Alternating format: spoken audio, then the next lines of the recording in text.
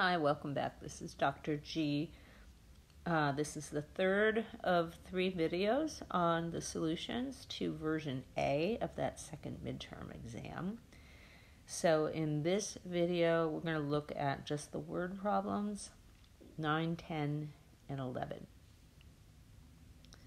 So, number 9 is two parts. Um, it says that Paul, a dentist, determined that the number of cavities that develops in his patient's mouth each year varies inversely to the number of seconds spent brushing each night.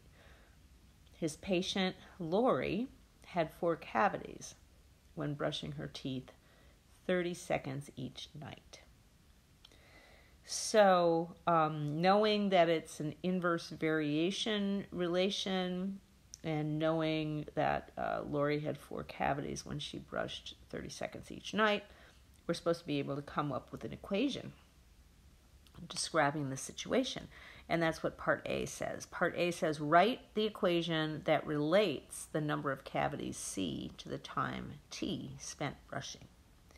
So, because we know um, that the number of cavities varies inversely to the number of seconds, we know that the equation looks like this. C has to be equal to K over T for some real number K. K is called the constant of variation. So now, in order to actually have the the right equation, we have to figure out what K is, and so we use the information about Lori having four cavities after brushing her teeth 30 seconds each night. So we plug those numbers in for um, C and for T. So we get four cavities is equal to K over 30 seconds, and we solve that. Multiply both sides by 30, and we get that K is 120. So then we can write down our equation as C is equal to 120 over T. So in the answer box, we just need to write uh, 120 over T because C equals is already there. All right, then in part B, it says how many cavities would Paul expect Lori to have if she had brushed her teeth for 120 seconds each night? So we know our equation is C equals 120 over T.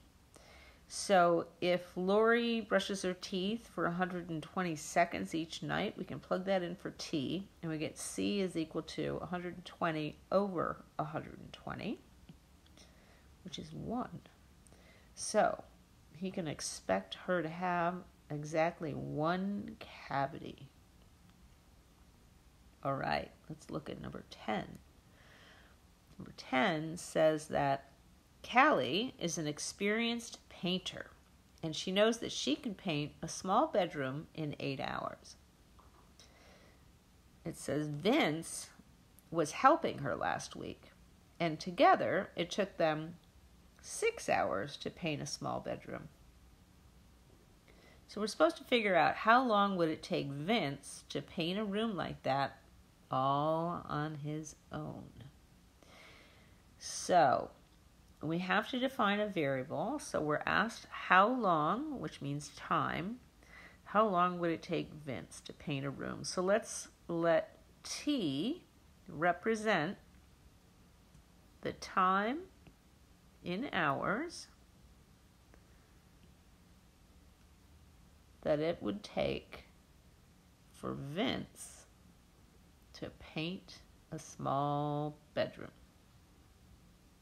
All right. So if T is his time, then we can write down his rate, his rate, his painting rate.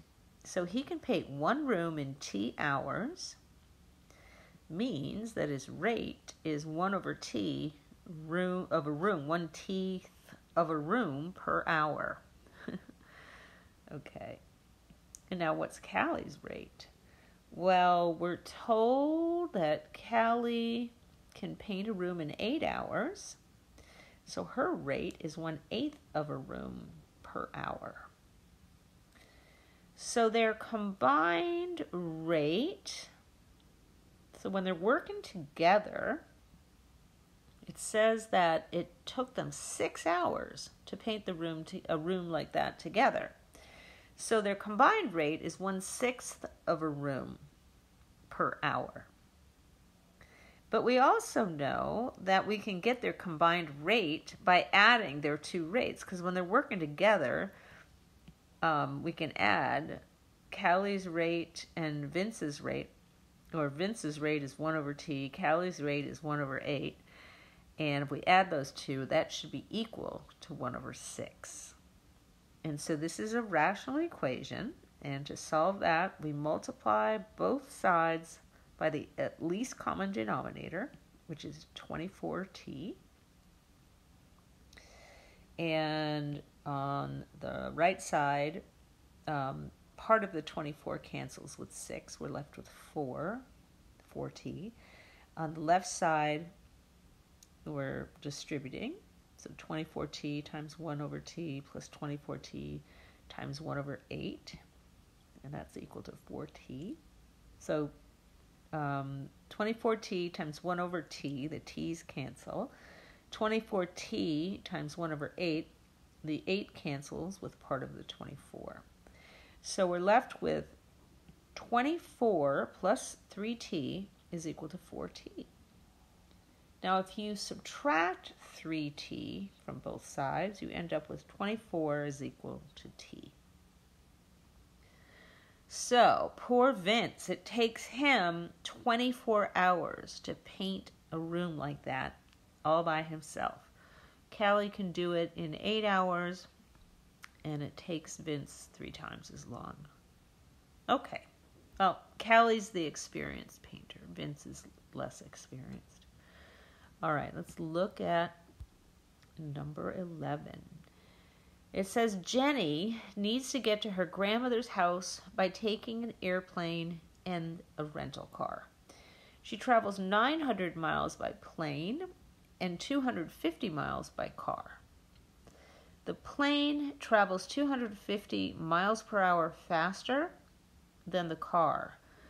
If she drives the rental car for two hours more than she rode the plane, find the speed of the plane.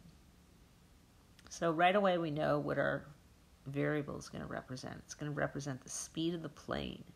So let's uh, let S be the speed of the plane, and that's going to be in miles per hour. Now, we're going to set up a table to organize our work. So we've got two parts of our trip the airplane part and the rental car part. And we're going to use distance, rate, and time for each of those parts of her trip. So the distance that she traveled on the airplane was 900 miles, and she went 250 miles by car. Her rate in the airplane, we said, was S, right? And now, what was her rate in the rental car? It says that um, the plane was 250 miles per hour faster than the car. So the car was slower, 250 miles per hour slower than the plane, right? So we can write S minus 250 for the rental car speed, the rate of the rental car. All right, so now in the time column, we're going to use the distance and the rate columns to fill in the time column.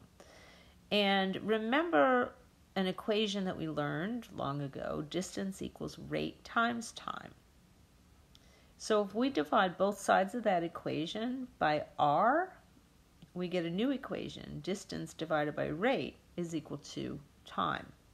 So to fill in the time column, we're going to use uh, distance divided by rate for each of the boxes in the time column. So for the uh, airplane's time, that's going to be the airplane distance, 900 miles, divided by the airplane speed, s. And then for the rental car time, that's going to be the distance, 250, divided by the speed, s minus 250. Okay, so now we've got those filled in. We got to set up an equation. So what? Let's go back and look at the problem. What information have we not used? Well, the last equation says she drives the rental car for two hours more than she rode the plane. So her time in the rental car was two hours more than her time in the plane. So her time in the rental car was 250 over S minus 250. And that's two hours more, so that means it's equal to 2 plus the speed uh, or the time in the plane, 900 over S. Okay, so this is a rational equation, and we can solve it by multiplying, start, start out by multiplying both sides by the least common denominator. So the least common denominator is S times S minus 250. All right. On the left side, the S minus 250s cancel. On the right side, we have to distribute. So on the left, um, I've got 250S. There we go. 250S on the left. On the right, I've got 2 times S times S minus 250 plus uh, 900 over S times S times S minus 250. And notice in that second term, my S's cancel. So then we're left with 250S is equal to 2S squared minus 500S plus 900s minus 225,000. All right, so we're going to get everything on one side, combine all our like terms, and have a zero on the other side. And we end up with 2s squared plus 150s minus 225,000 is equal to zero. And I can divide everything by 2 so I get s squared plus 75s minus 112,500 is equal to 0. And that can be factored. It's s plus 375 times s minus 300 equals 0. So the zero product property says s plus 375 is 0 or s minus 300 is 0. So the first one says S is negative 375. The second one says S is positive 300. Well, which one makes sense? We're talking about the speed of an airplane. So negative 375 makes no sense. So the speed of the plane must be 300 miles per hour. Okay, and that's the end of version A of the second midterm exam.